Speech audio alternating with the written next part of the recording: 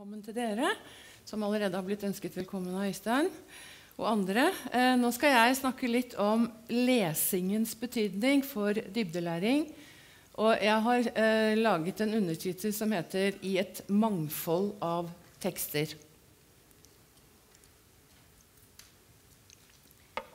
Det som jeg bygger eh, dette lille foredraget mitt på, det er forskning som jeg selv har vært ganske involvert i. Og som eh, jeg viser dere eksempler på noen funn vi har, eh, som skal henge sammen med da, eh, lesing i et dybdelæringsperspektiv.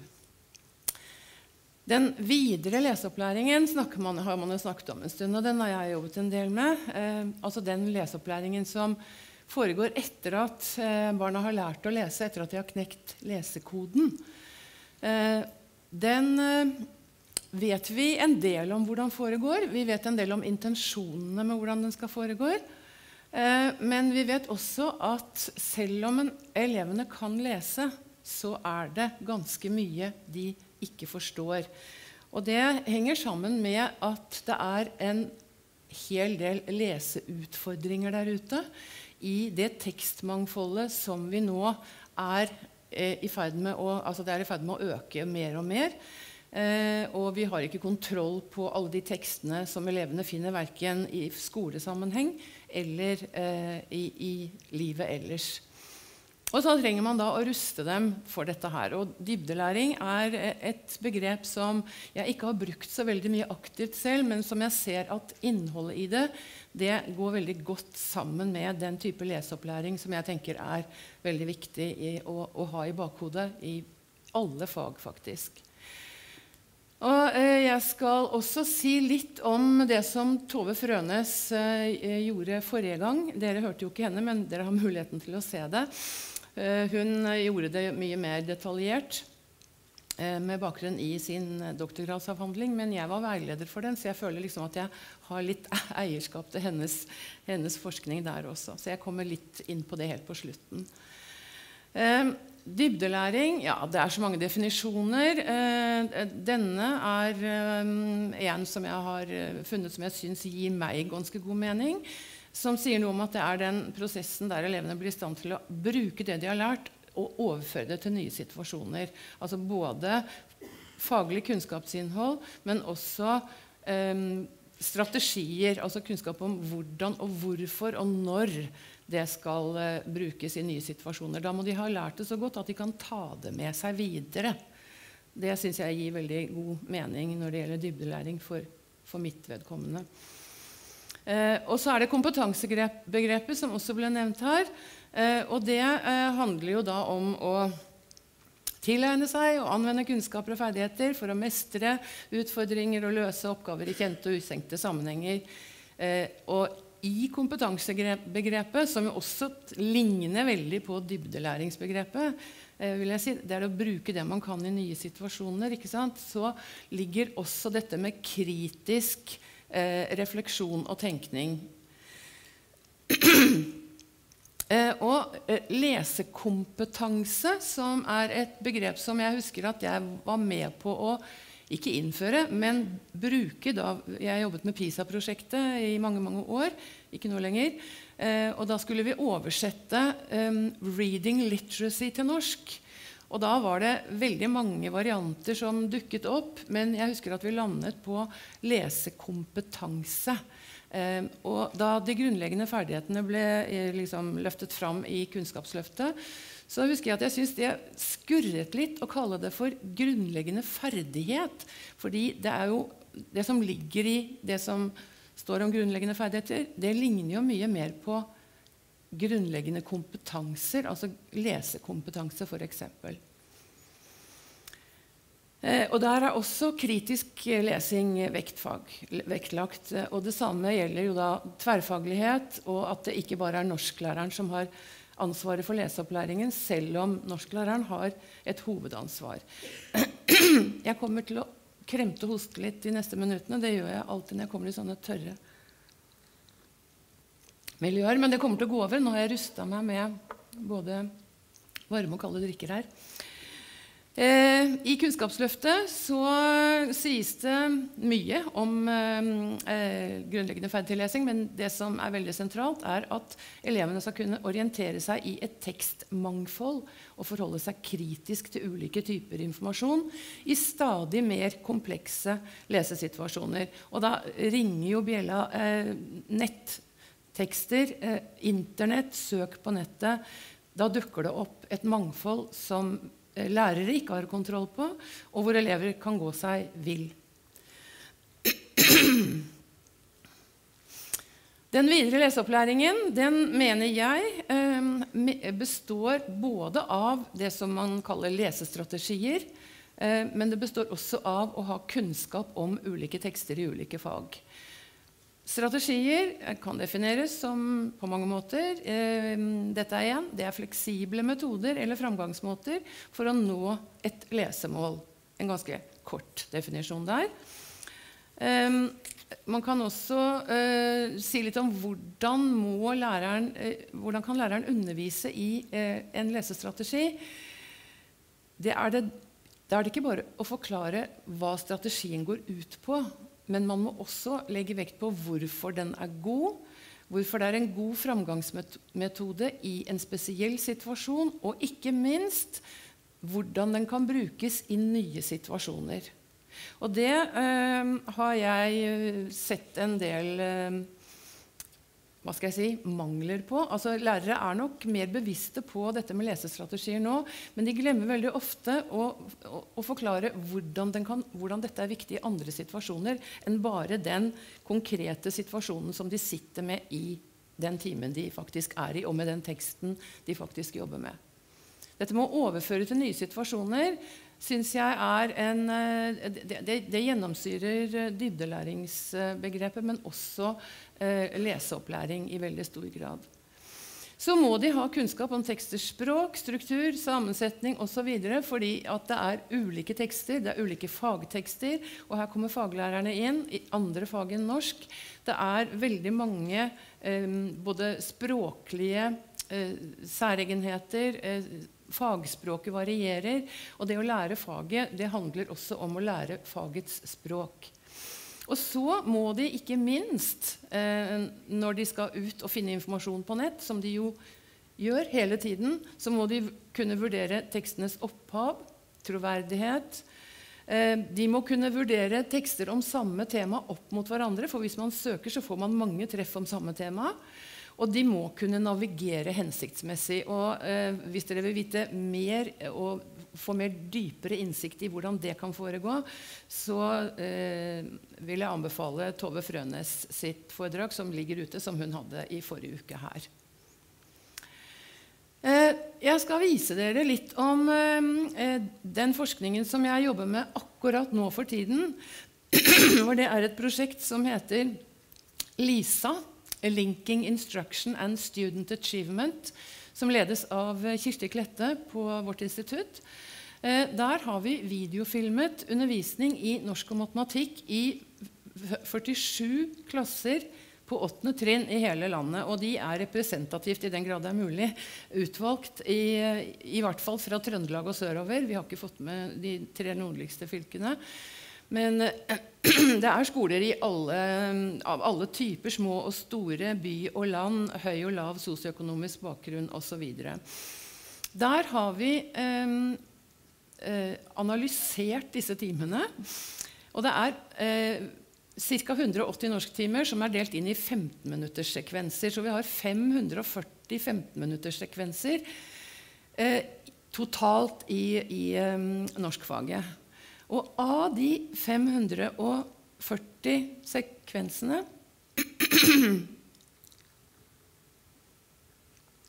så fant vi 159 hvor det opplagt kunne ligge til rette for leseopplæring. Det var en tekst som forelå, som elevene skulle bryne seg på på en eller annen måte. Og i de 159 segmentene hvor det var mulig å jobbe med leseopplæring, så eh, var vi først på utkikk etter lesestrategier. Jobbes det med lesestrategier? det fant vi at det på en eller annen måte enten ble nevnt eller undervist i i 74 av de 159. Altså litt sånn, ca. halvparten. Litt under halvparten.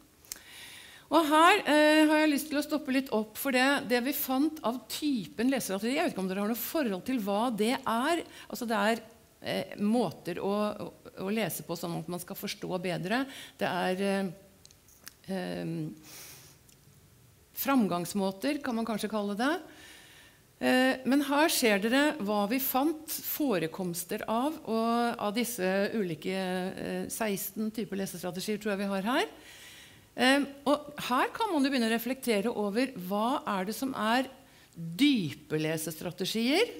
For vi snakker om dyplæring, deep learning, og hva, som, hva vi kaller overflatelesestrategier. Og jeg sier ikke at eh, lesestrategier som er dype, er de eneste riktige alltid. Men her er det noen som jeg vil si kanskje er mer dype, og, mer, og andre er mer overflatepreget. eh. Så hvis, nå skal se, nå skal jeg også gi dere ett minutt, ett minutt til å eh, diskutere litt. Eh, hva tenker dere om dype og overflatestrategier her? Har dere noen formening om hva som er hva? Jeg tror rett og slett at jeg stopper her. Ta gjerne denne diskusjonen videre. Jeg har mine synspunkter på, på det, men jeg syns ikke det er noen eh, vanntette skott. fordi man kan Eh, altså det er ikke sånn at man sier enten er det en, en dyp strategi eller så er det en overflate. Men de som diskuteres, som sier er det egentlig bare en teknikk eller er det en strategi, det er jo skumming og skanning og, og den slags. Eh, mens å f.eks. Eh, trekke slutninger, da må du ganske dypt ned i teksten. Og for å gi dere et par-tre eksempler bare. Men dette her er jo da de 74 segmentene hvor vi fant at det ble nevnt eller undervist i.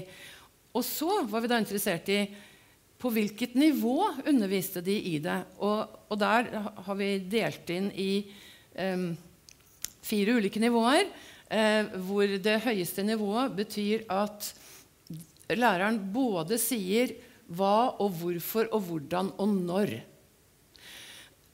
Og da fant vi eh, Eh, altså både at læreren forklarer og gjerne modellerer.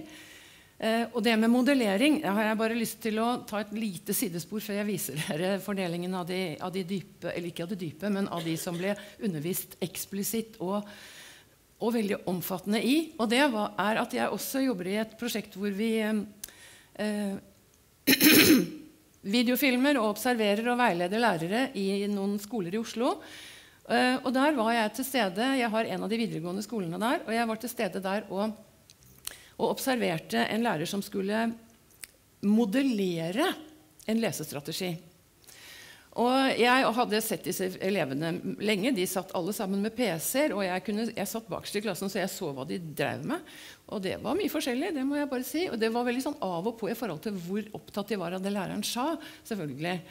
Men så sa læreren nå skal jeg modellere diktanalyse for dere. Så tenkte jeg oi, spennende.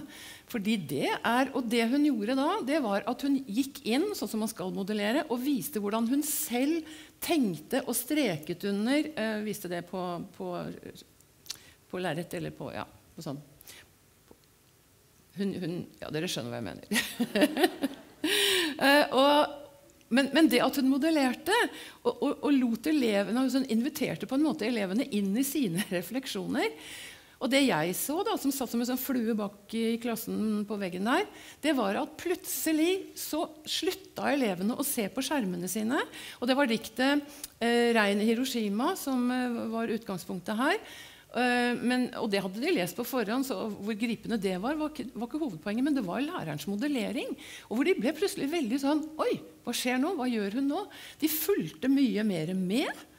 Og det eneste jeg så at en gjorde sånn på slutten, det var å google Hiroshima og fikk opp en del informasjon om Hiroshima.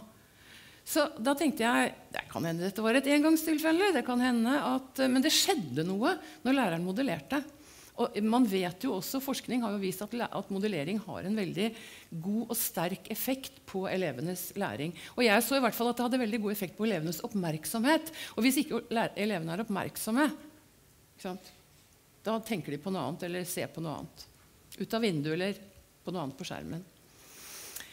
Eh, så her fant vi da, Av de 74 så fant vi 23 segmenter der eh, strategiene ble forklart og begrunnet eksplisitt. Og Her er jeg også delt inn i hvilke tekster det var snakk om. Det er ikke så viktig. Der hvor det står 'uten kontekst', som er de grønne, det er faktisk der hvor læreren bare forklarte en strategi uten at det forelå en konkret tekst som elevene skulle lese med en gang. Som leger ble det gjort i forbindelse med at de leste noveller eller um, argumenterende tekster eller andre fagtekster. Men um, ren sånn strategiundervisning det så vi også uten en konkret tekst. Uh, og der ser dere også ulike, de ulike strategiene som, uh, som ble brukt. Uh, jeg har ikke tid til å gå altfor nøye inn på dette, men jeg skal vise dere et utdrag fra en lærer som gjorde dette på en veldig god måte. Og han brukte et, et, eksempel bare. Det var ikke egentlig fra norskfaget, men han brukte et, en eksempeltekst om kontaktlinser. Og han sier sånn Aller først, skriv ned det dere vet om kontaktlinser, og prøv å skrive en brukerveiledning. Hva vet du om kontaktlinser? Målet er å vise hvordan vi kan bruke lesestrategier på denne teksten, slik at dere også kan bruke strategiene når dere leser andre tekster, i andre fag f.eks.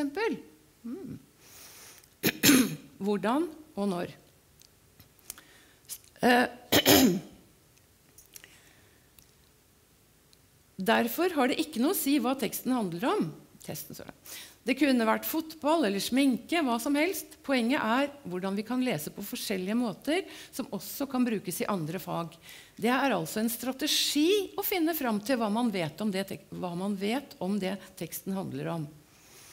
Og Så går læreren litt ut i klassen og sier hva er fordelen med en sånn tilnærming til teksten. før du begynner å lese. Dette var på ungdomstrinnet også.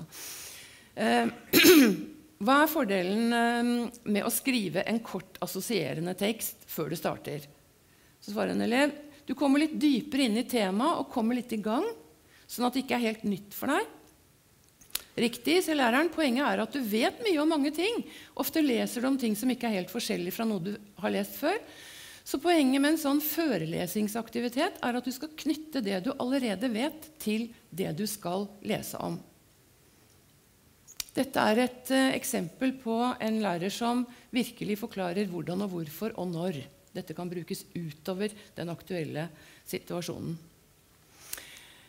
Så vi så bare den typen undervisning i 23 av de totalt 159 som igjen ble kokt ned til 74, hvor så, hvor det var snakk om lesestrategier. Det kunne være alt fra bare å si ja, nå skal dere lage et tankekart. Da klikka vi av for ja, lesestrategi brukt for å samle informasjon eller eh, sortere teksten.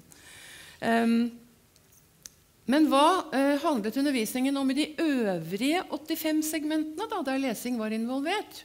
Jo, ikke overraskende kanskje for dere som eh, er norsklærere.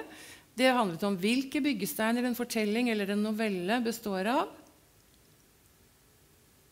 Hvordan forfattere skaper spenning i en fortelling. Hvordan en argumenterende tekst er bygget opp. Hvilke sjangertrekk og virkemidler som finnes i en novelle. Men her ble det ikke sagt noe annet om hvordan de skulle bruke dette for å forstå ulike tekster bedre når de leste. Det var nesten utelukkende eh, elevenes skriving, at de selv skulle lære å bruke disse virkemidlene i sine egne tekster, som var målet. Og det kan dere tenke litt over, egentlig. fordi at eh, veldig ofte så skjønte ikke elevene hvorfor de skulle lære disse tingene. Det ble bare sagt at Finn virkemidlene, her er det spenningskurve. Og, ja, altså, det er jo greit nok det, å bli vist hvordan tekster er bygget opp. Men målet er skriving som regel. Og målet var aldri eh, å, å, møte nye tekster med kunnskap om hvordan de er eh, beskrevet, eller hvordan de er framstilt eller, eller, presentert. Men det var norsktimene. Vi, vi har også sett matematikktimer. De, der var det veldig lite lesefokus, selv om det er en del å lese der òg. Men hva gjør øvrige faglærere, lurer jeg på? Kanskje det er de som gjør dette? Kanskje det er de som jobber mer med lesestrategier og er mer eksplisitte. Um, uh, for det skal de jo også gjøre. Kanskje det er de som uh, forteller elevene mer om uh, ulike teksters, fagteksters språk og struktur. Eh, og så lurer jeg også på, og dette var fra 2015, og du verden så mye som har skjedd siden da. For når jeg er tilbake nå og, og er i, i, klasserom i 2019, 2018, 2019, så er det liksom PC-er og laptoper og iPader rundt omkring på alle. De har det enten i, sekken eller så har de det framme overalt. Og det er både ungdomstrinnet og, og videregående. Alle videregående, nesten. Eh, mens i 2015 så var det ikke det. Da gikk de på sånt datarom når de skulle bruke PC-en. Og så var det læreren som brukte den og viste den på overhead. Også. Så det, det, har endret seg voldsomt. Så derfor så, Selv om vi ikke fant dette i 2015, så håper jeg jo at det foregår mye mer av, av det med å eh, undersøke teksters opphav, troverdighet, som er utrolig viktig på nettet, og sett, vurdere tekster opp mot hverandre og kunne navigere.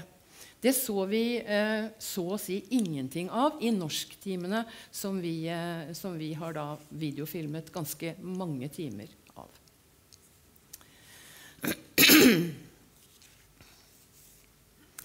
Så, så var det snakk om læreboka her. Eh, og jeg er veldig usikker på, altså det, det ligger jo en del læreboktekster på nettet. Noen læreverk er nettbaserte.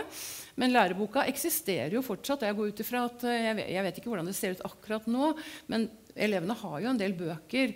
Og, og pedagogisk utviklede tekster som lærebøker de er jo en fantastisk ressurs. Men det som er med den, i sammenlignet med andre tekster, det er at de har ofte en usynlig avsender. Altså det er en forfatter der, men det trenger ikke elevene å bry seg noe særlig om. De formidler veldig ofte sannheten. altså Man tror på det man leser i læreboka, og det skal man vel strengt tatt gjøre. De oppgir sjelden kilder. Um, og de bør bli utfordret av å brukes parallelt med andre tekster eh, i større og større grad.